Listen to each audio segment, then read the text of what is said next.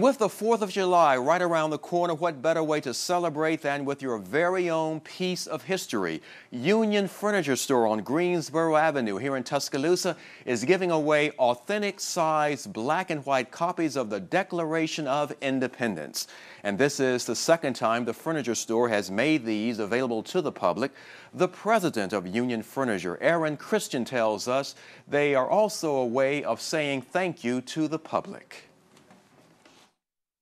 all the historical art that we do, the black and whites that we give away free to the public, is a way that Union Furniture Company can pay our dues to the to Tuscaloosa, Northport, and Tuscaloosa County that's allowed us to be in business since 1927.